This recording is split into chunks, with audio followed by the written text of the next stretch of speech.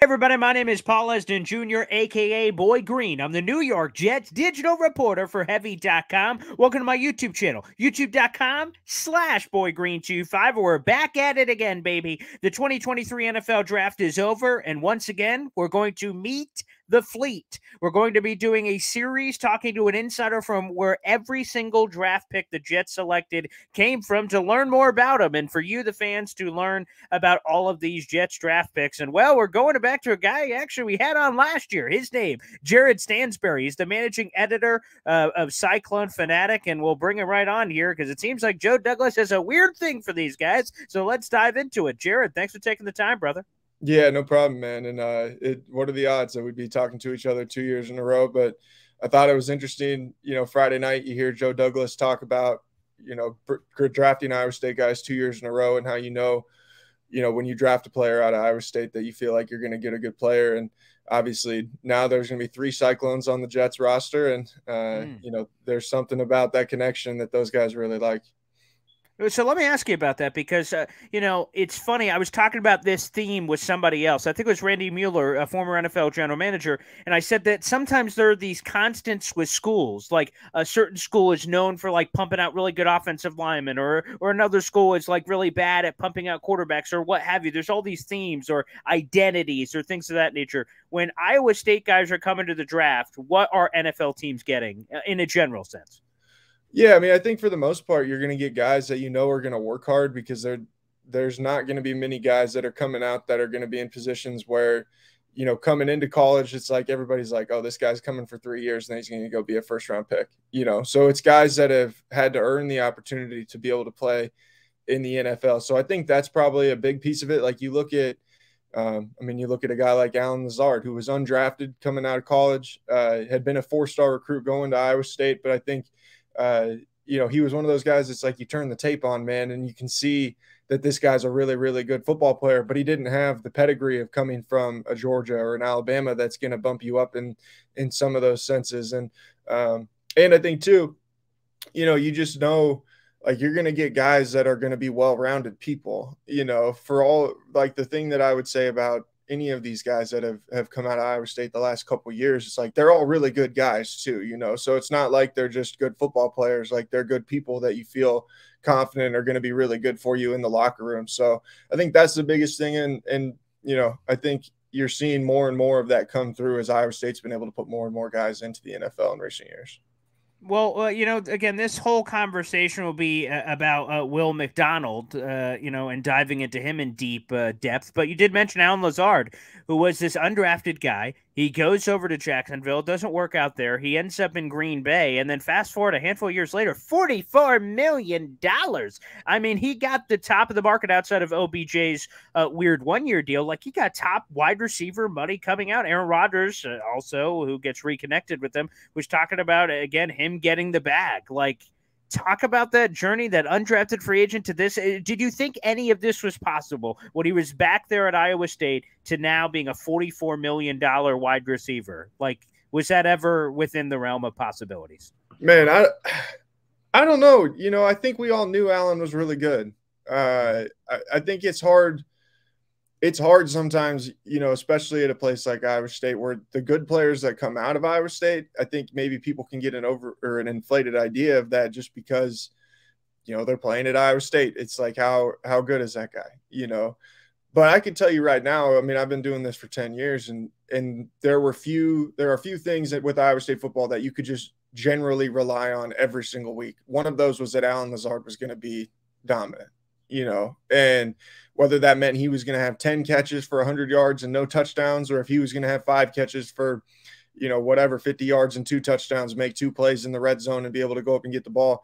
You know, he was just every week you knew that that guy was going to show up and was going to play at a really high level. And um, when you have a guy like that, you know, and again, you know, a guy that chose to stay in school that you know, continued to, to continue to battle through in maybe today's climate of college football. Maybe he's a guy when the coaching change is made, doesn't, you know, maybe doesn't come back to Iowa State or something like that. And, um, you know, just that's what I think has allowed him to be able to stick is that he's a guy that, yeah, he has the elite pedigree of being a four star recruit and, and having some of those elite skills that you need and those uh, just key intangibles that you need.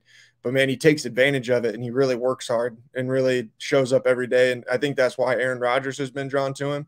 Um, I think he sees a guy who's consistent that just comes in and works really hard every single day. And, um, you know, when guys, you know, when you can find those guys like that, you want to keep them around, especially, you know, obviously Aaron got really comfortable with him in, in Green Bay. Uh, I think he, he didn't have a ton of options. So, uh, Allen by default, you know, kind of becomes the guy and now it kind of makes a career for him.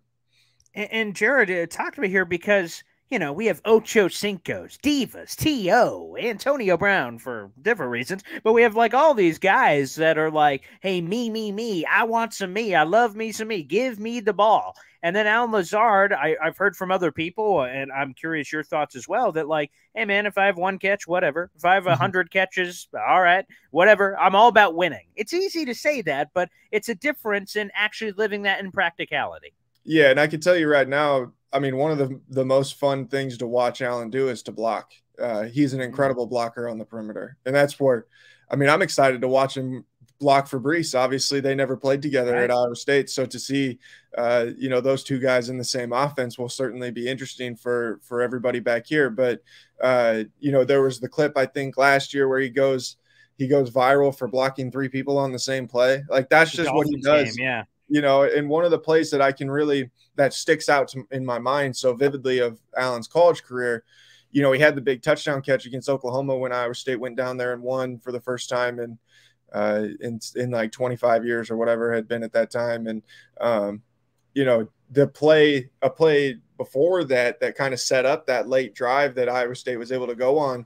Uh, they ran a bubble screen to the uh, to the field side. Allen's guy was uh, had to block his guy, and instead of trying to take down the ball carrier, Allen was punking these dudes so bad on the perimeter that another guy came in and blew him up while he's blocking rather than tackling the guy who goes sprinting down the sidelines for a 50 yard touchdown reception.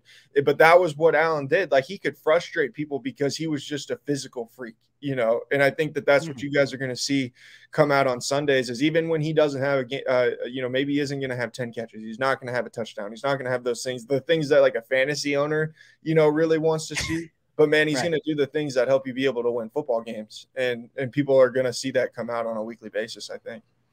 And, and like I said, this full conversation will be Will McDonald, but another random nugget here on Breece Hall. He was the offensive rookie of the year, man. Mm-hmm. Like he he started coming into his own. He was the guy. And unfortunately, week seven, Denver Broncos, a terrible day for Jet fans, and I'm sure for Iowa State fans as well. In a span of like three minutes, we lose our best offensive lineman, Alijah Tucker, formerly of USC, and then Breece Hall, torn ACL. It sounds like he's making a full, awesome recovery, which is uh, great. He's an awesome human being and an awesome player. So, you know, again, he w- he could have, should have, would have. Now, of course, the only guy that I guess takes it from him is Garrett Wilson on his own team, who ends yeah. up getting the offensive rookie year. But man, I, I, think a lot of us are so excited for that home run potential of Breece Hall. He was so exciting to watch, and it just seemed like he was finally coming into his own, like he had so much more to reach in the second half of the year that he never got to see.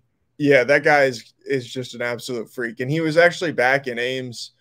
Um, man, I guess this probably would have been in February or something like that. He came to a basketball game and all that cool. stuff at, at Iowa State, and uh, man, it, it's just fun. He his smile lights up a room, you know. So when he comes in and talks to the reporters, you know, and it's always fun when these guys leave and then come back and get to talk to them again because then like everybody's excited to see each other when they're here all the time you know everybody gets you just are like man i'm tired of seeing these people and talking to these people but uh, he was excited to see us and it was it's just always fun to talk to him and reconnect with him and uh, i'm looking forward to see him get back on the field this year and it I mean, it's funny. It's not funny, but it's unfortunate. You know, there's a alternate reality in which Iowa State could have ended up with the AFC rookie of the year, offensive rookie of the year, and the NFC rook, offensive rookie in the year with where Brock Purdy, I think, ended up right second in that voting. So no one would have ever expected that, I don't think. Uh, but somehow, you know, it just worked out that uh, you know those guys were both in good position. But hopefully Breece can get back, and if he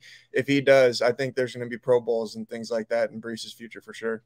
Well, that'd be a lot of fun. Iowa State Football Factory, baby. And apparently, we're going to have to be doing weekly, or not weekly, yearly interviews with you as uh, the Jets Iowa State pipeline continues uh, to build. Again, we're speaking with Jared Stansbury here. Again, you guys can follow him on Twitter. Feel free to do so. He gives us all the juicy nuggets. It's at that very handle, at Jared Stan, uh, Stansbury, and uh, managing editor for Cyclone Fanatic. Let's get into it. The Jets' first round pick. They take Will McDonald with the 15th overall pick. Will even himself during media interview. Wow early. Didn't see that coming. So just a uh, in, interesting, you know, honesty from him. The Jets or the draft world excuses like, whoa, Will McDonald, what say you? Uh, on, I guess, Will McDonald, I guess, going higher than even he thought he would, and the player that the Jets are getting here. Yeah, so I I don't think anybody really knew what to expect. That was the the tough thing. So there's a lot of layers to this, obviously, for yeah. uh Iowa State had not had a first round draft selection in 50 years since 1973 wow. up until this Whoa. year. So to for anyone to sit there and be like, "Oh yeah, Iowa State's going to have a first round pick this year," obviously you're going out on a little bit of a limb, you know. But yeah.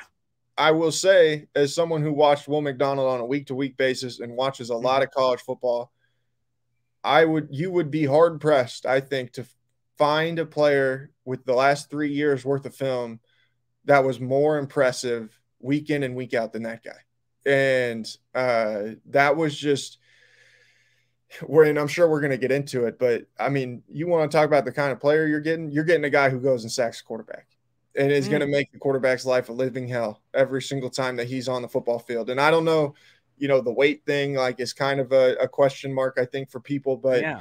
um, you know, is he going to be a, a four down defensive lineman for you, three down defensive lineman for you right away to start his career? Like, I don't know. But man, I can tell you right now, if you want to put together third down packages when it's time to go and get the quarterback, that guy's going to get back there and he's going to give you a chance to sack the quarterback every time that he's out there. And um, again, like, I think a lot of times with draft evaluations, we can kind of overthink it and we start to talk about potential and we start to talk about all these kinds of things.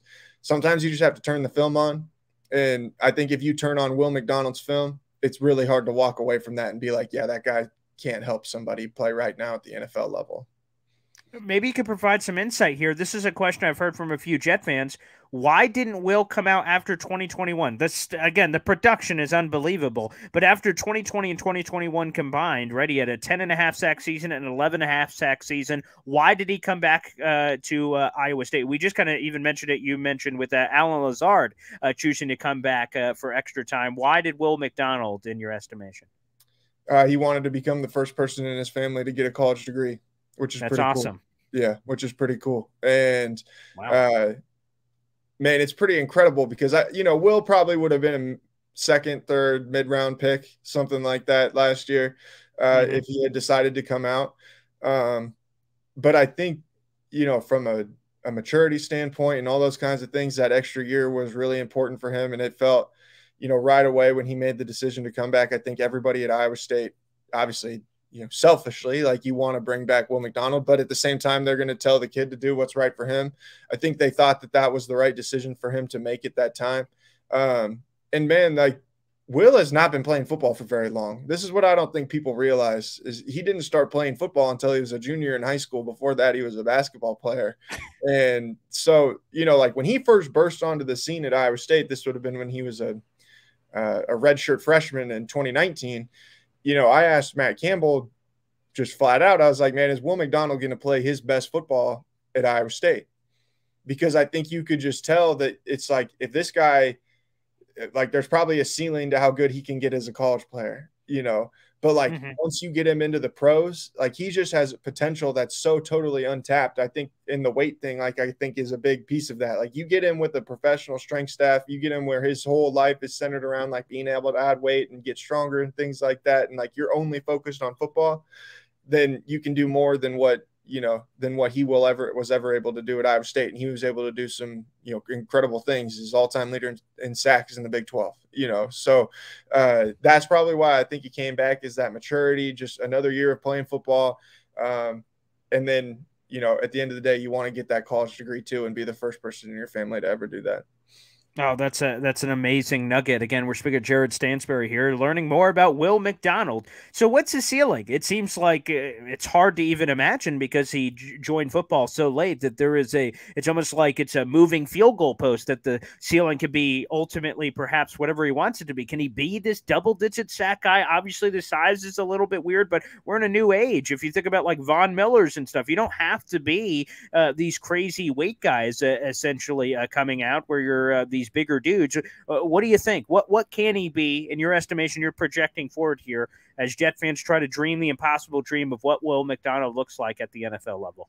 Yeah, I mean, I I would think that you don't draft a player at that level or at that at that position if you don't think that he can become a, a double digit sack guy. You know, yeah. I think you, you probably automatically feel that already just in, if you feel that highly about him as an evaluator and uh, so I would think, you know, I think that that is certainly in the in the cards. Obviously, you know, there's a lot of factors that go into it, system, guys that are around you, things like that. Like I'll I'll say, you know, people will ask why is the production why the production drop off so much from yeah know, 2021 to 2022, and I think there's a couple different layers to that. In 2020, he was playing uh, across from Jaquan Bailey, who at that time was Iowa State's all-time leader in sacks, uh, who was a very, very good pass rusher got a cup of coffee in the NFL. He's actually on a, a NASCAR pit crew now. Like got it and wow. some crazy okay. thing. But he so he had a really good guy across the, uh, the other side from him that could take some attention away from him as well, and you know eliminate facing double teams every single play. And then the next year he had Enyi Uwazurike, who was a fourth pick fourth round pick to the Broncos last season, who was playing across from him. Another guy that generated a lot of attention in addition to Will McDonald. So when you've got those two guys that can take a lot of pressure off or can put a lot of pressure on people, you know, you got to pick one. And, uh, you know, Enyi was like six foot five, 320. So I think a lot of people more often than not would pick him, and that would create more opportunities for Will. Uh, but then this last year, you know, Iowa State has had MJ Anderson, who benefited a lot from Will being there uh, and being a, a, opposite of him, and and now he's he just signed an undra- uh, an undrafted deal with somebody, but um, Will was facing double, triple teams. I've never seen a player get held as much as him, uh, it, just because there was no way, no other way to block him. If you had to block him one on one, you were in trouble, you know, and you could see it coming before the snap. You know, you could just see, oh man, they're going to have to try and take number nine one on one right here, and we're going to see what happens. And more often than not, if number nine was blocked one on one, he's either getting the sack or he's making the quarterback get rid of the football before he wanted to. And, um, you know, so that's why the production dropped and things like that. But, uh, man, I would be really surprised if Will McDonald does not become a double digit sack guy in the NFL because that just, some people are put on this earth for certain reasons. And Will McDonald seems to have been put on this earth to go and chase the quarterback, and he does it at a high level. Well, God bless, baby. Uh, that's exactly what the Jet fans and Jets uh, team uh, is hoping for. And what can you tell us about when Will started dropping these nuggets? And I was hearing him after he gets drafted. You know, their stories start to be told. Unicycles jumping over cars. What in God's green earth is happening there with Will McDonald? What more can you tell us about uh, some of these interesting uh, passions off the field? So I've never done the research to actually confirm this story. Yeah. But okay I once heard a story about Will McDonald showing up to a track meet in high school wearing a pair of Chuck Taylors, winning okay. the discus, the high jump, and the 200. Wow. What? In a pair of Chuck Taylors. I'm I'm dead serious. This is a story that I heard at one point, and then I I want to say he broke the school record and the his high school school record in the discus like the second time he ever threw one you know, like something crazy like that. So this guy, wow. when you want to talk about it, like you talk about freaks of nature, people that just can do freakish things. Will McDonald is one of those people, you know. And so the jumping over cars, the doing all that, that's the kind of athlete that this guy is. Like he just, you know, obviously those are kind of oddities. And I, I saw too, he said that his his car jumping days are officially over. Uh, right. Yeah. When yeah. he did his press conference the other night, but uh, it did that's the kind of guy that this guy is, and he's been putting that freakish athleticism on display for a long time. But I will never forget hearing that story about him winning the winning all that stuff at the track meet when he's like never done it before and he just showed up and rolled out in some tennis shoes. What a friggin' story! And by the way, I, I w- I'm not surprised by based on everything that we're hearing about uh, the level of just like athlete that he is that he could just kind of do that off a whim. That's uh, that's wildly impressive. What about the personality? He seems again we've only gotten a small taste the New York media and fans for that matter uh, of him, but he seems a little quirky. It seems mm-hmm. like there's a little edginess, is how Robert Saleh described it to him. What what what is it to him? What what can you tell us about that? Well, first thing I'd say is he's a man of few words. He he's mm. not going to say a whole lot, you know. But okay. uh, we actually do a, a tour every year where we go. Or, well, we did it. I guess we're going to do it again this year, but we did it last year. But we take some of these guys with us, and we go around the state and go to some different locations, things like that, do some events. And we took him with us last year. He went to Omaha and he went to a small town in Southwest Iowa and, and hung out with us for a couple of days. And um, he's a funny guy, you know, but he just is uh I think he's just he's just a low key guy too, you know. And I think some people could perceive that as edginess or some people can just he's just a quiet guy, you know. Okay. But uh man, the edge comes out, like I said, the edge comes out when he's out on the football field. You know, you wouldn't think that he is uh a really, you know, kind of laid back quiet guy, but that's the vibe that you get from him when you're around him in interviews and things like that. So uh, it'll be interesting to see. I'm interested to see what how he continues to grow just as a person because um, you know I'm not going to sit here and say that he was the greatest interviews that we ever did or anything like that. But but when he did talk, you know, he usually was pretty insightful in the things that he would that that he would have to say. Uh, all right, let me uh, let me ask you this one. Uh, so uh, I did some of the work that you do, but in a Syracuse world uh, over the last couple years, uh, pre-COVID. And one of the players I had the you know opportunity that really st- stuck you know sticks out to me is Zaire Franklin, who ended up being a Colts draft pick, and then he has developed into a starter. It's really cool. But as I've interviewed all these players over the years, over the last ten years, whatever it is, is that you know, after I spoke with Zaire at his pro day and he went to go talk with some NFL teams in the side room after he was done with the media, I just said to myself, like, man, if I could put my career doing sports ish on the line for a Syracuse prospect that's come out, it's Zaire Franklin, that I would pound it on the table. He's going to make it for whatever reason. Again, he ends up being a seventh round pick. So it's not like you're saying it for a first round pick. And then now that he's the starter, I just went like, wow, okay, something felt right about that one, different than all these other Syracuse prospects that have kind of come through if you were presented that same question, opportunity, like thought process in your mind, how confident do you feel that Will McDonald's going to make it? Because like sometimes kids are great in college, but they just don't make it for whatever reason in the NFL for a variety of reasons. H- how confident do you feel that Will McDonald's going to be a guy at this level? Yeah, I mean, I I'm very confident that at the very least he can be a third down pass rush specialist for you. You know, yeah, like a really great. Yeah. Like that, and mm-hmm. that to me feels like the absolute floor. I would be really, really surprised if he does not become a really dynamic pass rusher. Obviously, the ceiling is to become a, you know, three down every down type of player that could be an NFL All Pro. Like I, I don't know if that is going to happen, but I think he is one of those guys that you look at that has a a really high floor in addition to having really high potential. And that's why, I mean, frankly, like that's why I would have drafted him high because I would have been mm. like, yeah, he's got high potential, but I also think he just has the raw intangibles of the kind of guy that you know is going to be able to just stick purely based on his God given ability, you know. And yeah. um, when you've got a guy like that, like that puts you in a really good position. And so I would be, I would be very, very surprised if it did not work out for Will McDonald for him to be playing football for a very long time and making a lot of money doing it. Jared, before we get you out of here, uh, this is one of my favorite questions to ask, and it's one of the most simple questions. But I've, over the years of doing this series, I've gotten some of my best answers from asking this question, so we'll keep the streak going. Is there anything else that Jet fans should know about Will McDonald that we haven't touched on? A, it's a it's a story. It's some insightful nugget. It's anything on Will McDonald that people Jet fans should know uh, about him that for some reason, like I said, maybe we haven't heard in his press conference or we haven't even heard uh, during this interview that stands out to you in some way.